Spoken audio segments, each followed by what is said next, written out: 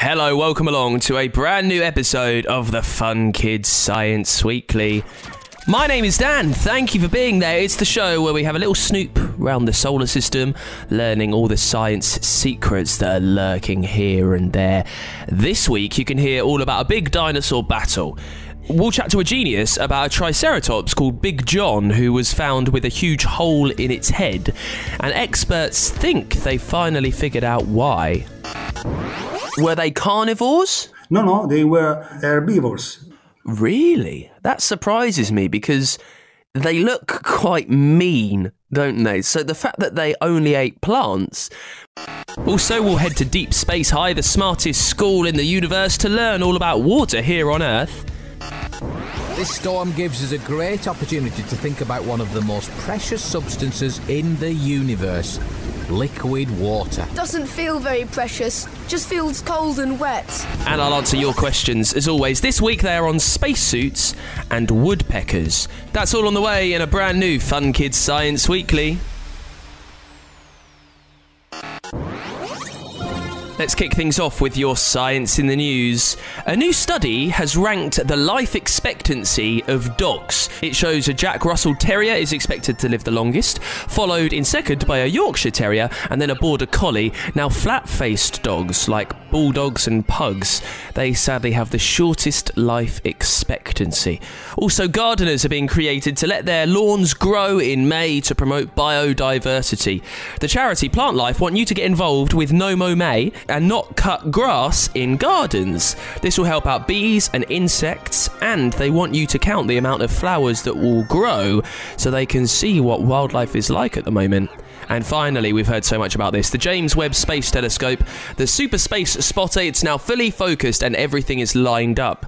Light bounces perfectly off its mirrors back to the telescope cameras. It cost over $10 billion and now it's ready to get to work, where it will have a look at the oldest stars in the universe.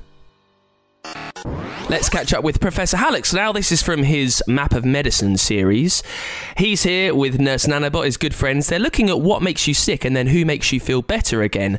This time out, he's learning all about eczema and the doctors who look after your skin, hair, and nails. Professor Hallux's Map of Medicine.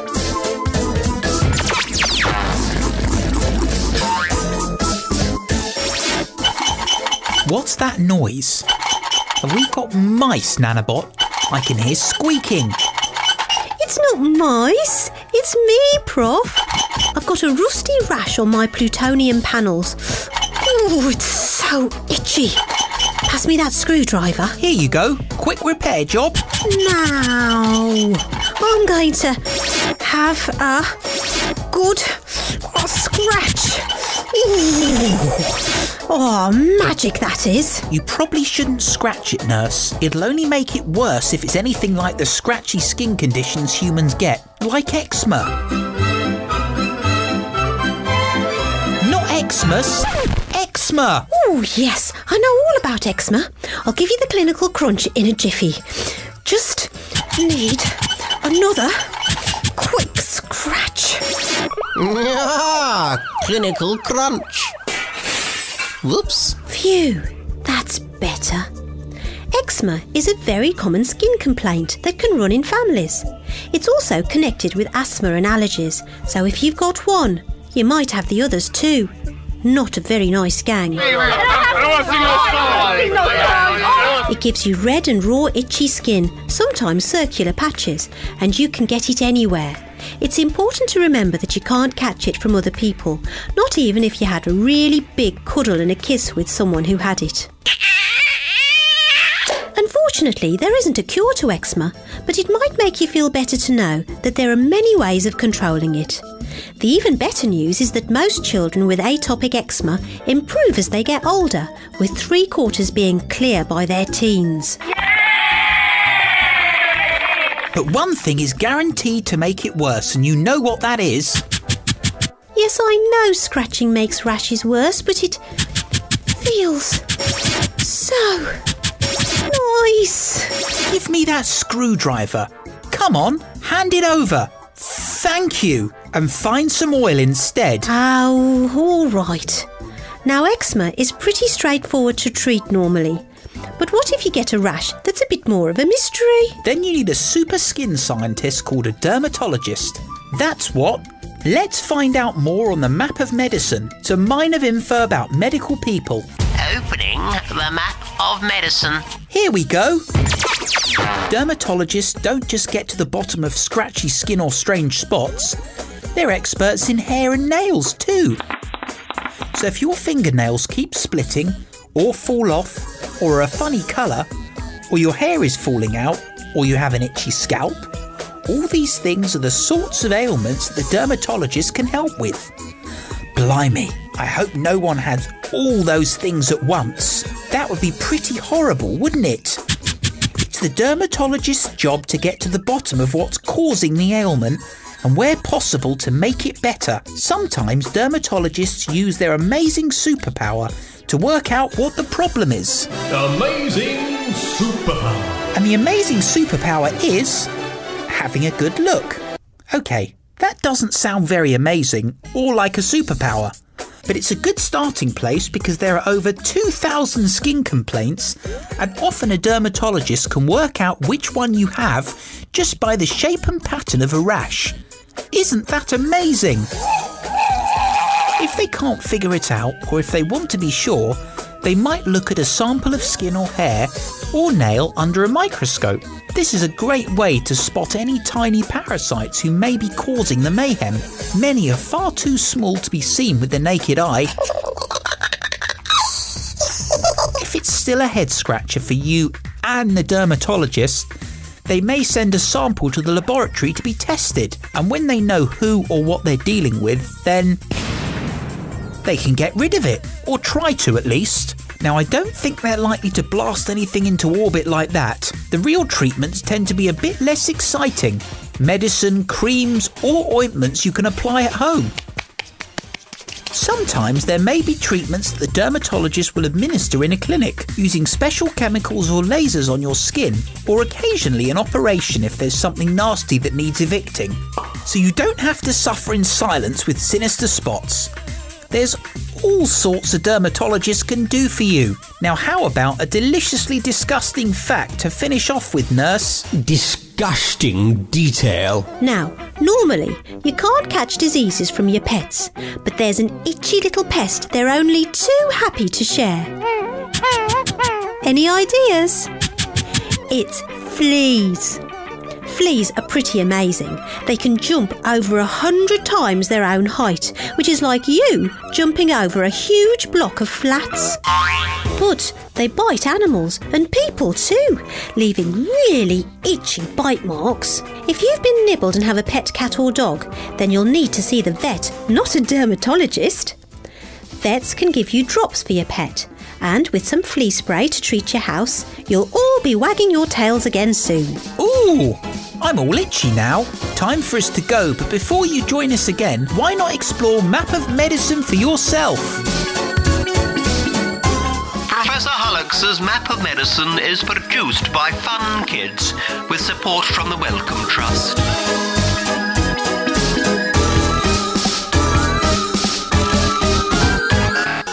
Your questions then. If there's something sciencey that you want answered on this show, leave it as a review for me on Apple Podcasts. Find the Fun Kids Science Weekly on there. There's a little comment box at the bottom. That's where you leave your question as a review.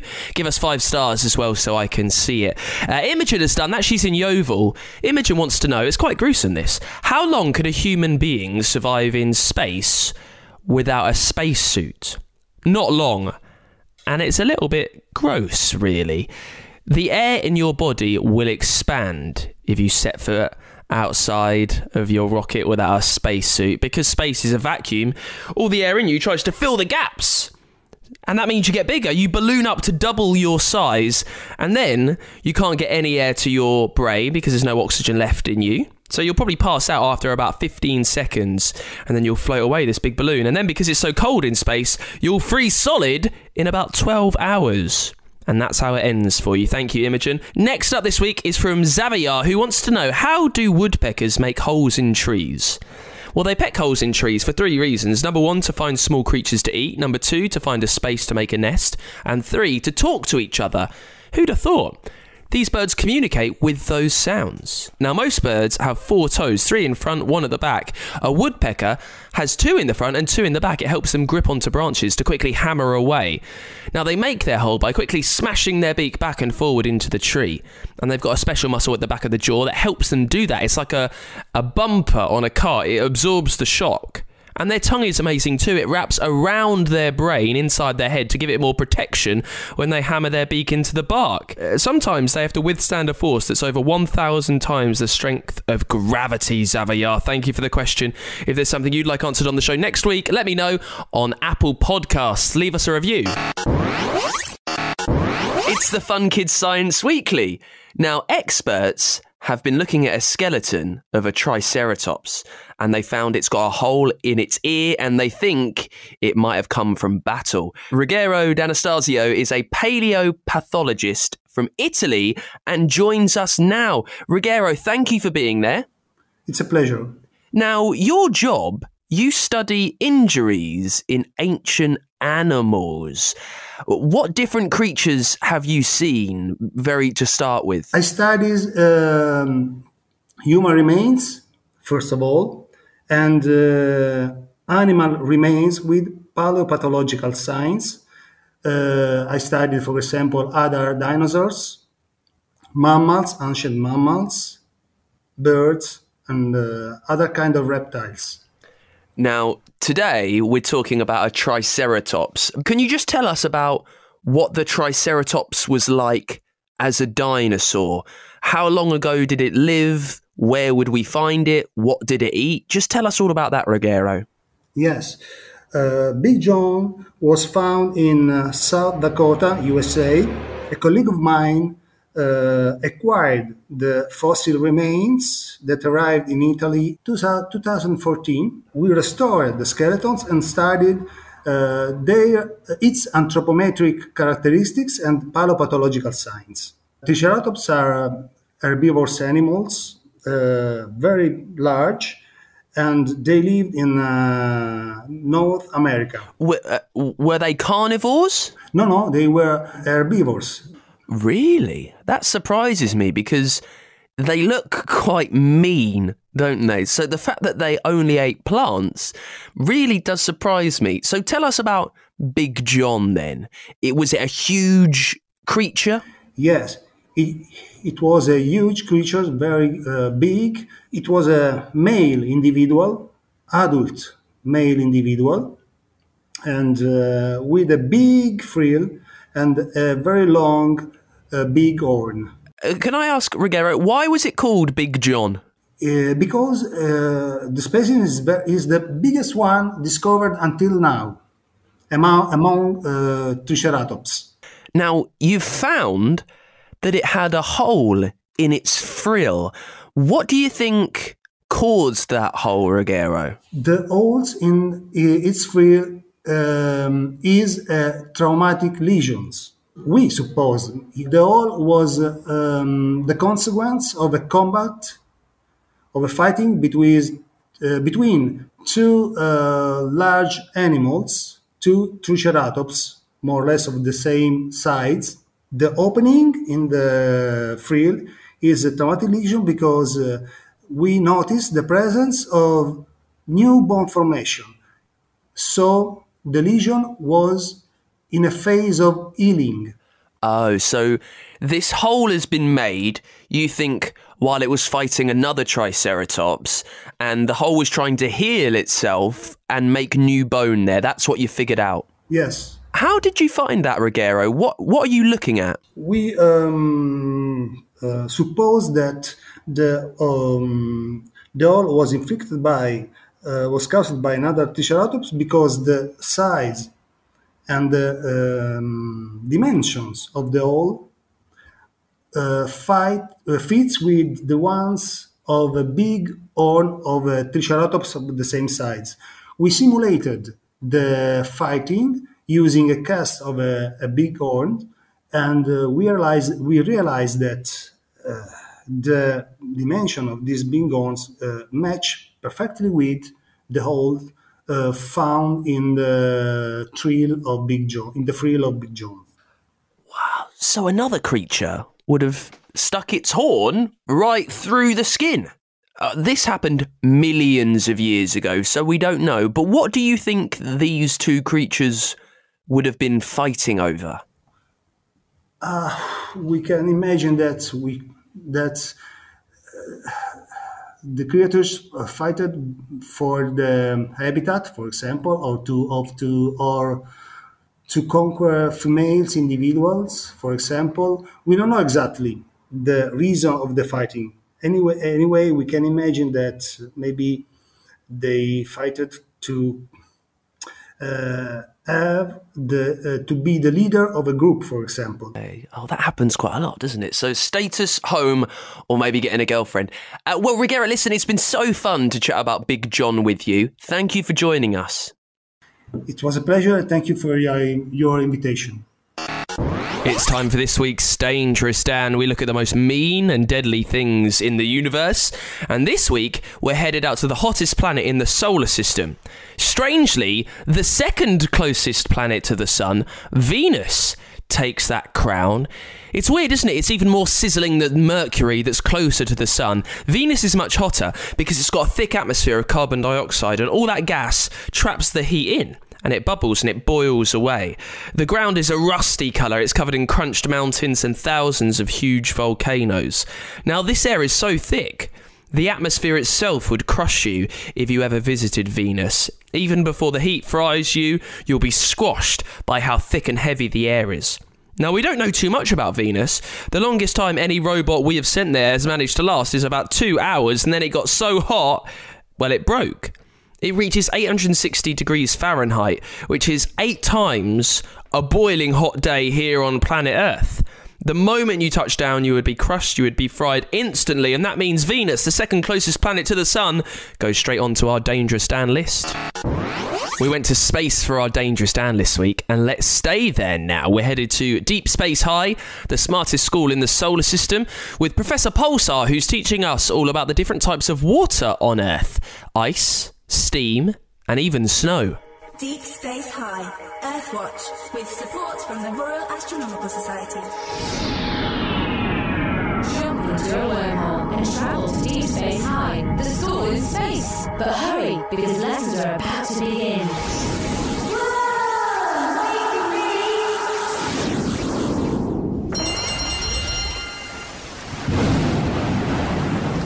Wish this storm would go away. We can't get on with our Earthwatch trip because it's tipping down. You're showing a severe lack of imagination there, Sam. This storm gives us a great opportunity to think about one of the most precious substances in the universe liquid water. Doesn't feel very precious, just feels cold and wet. Let's get indoors. Liquid water covers over 70% of the Earth's surface. Without it, there wouldn't be much life on Earth. So, if we ever wanted to live on a different planet, we'd have to find one with liquid water on it. That's right, although it's going to be hard to find a place like that.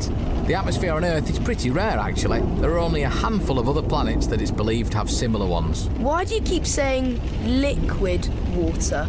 Are there other kinds? Oh, hang on. Steam from a kettle is water, isn't it? Yep. Technically, that's water vapour, but you get the idea.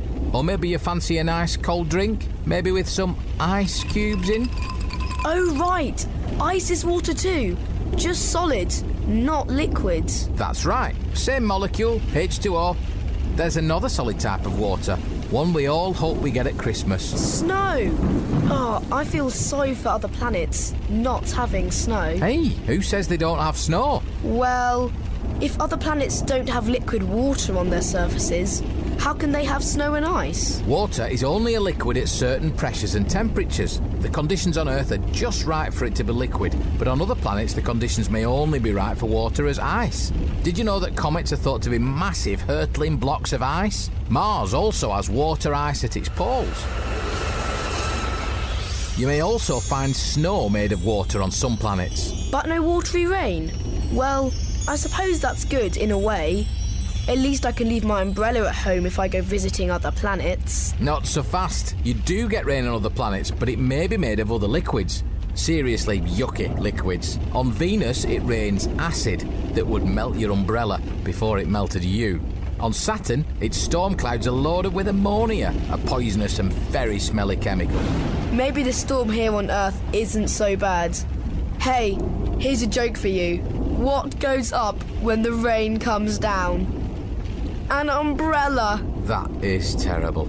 If you carry on telling jokes like that, I think I'll go and stand in the storm. It'll be more fun. Deep Space High, Earthwatch, with support from the Royal Astronomical Society. Find out more at funkidslive.com slash deep high. And that is it for this week's Fun Kids Science Weekly. Thank you so much for listening. If there's a question you want answered on the show, leave it as a review for me over on Apple Podcasts. Find us on there. There's a little comment box at the bottom. That's where you leave your question. Drop your name as well so I can say hello, and five stars will really help me see it. While you're on Apple, there's loads of brilliant podcasts that you can listen to there from us. You can also get them on Google, on Spotify, and on the free Fun Kids app. And Fun Kids, we are a children's radio station from the UK. You can listen all around the country on your DAB digital radio and at funkidslive.com.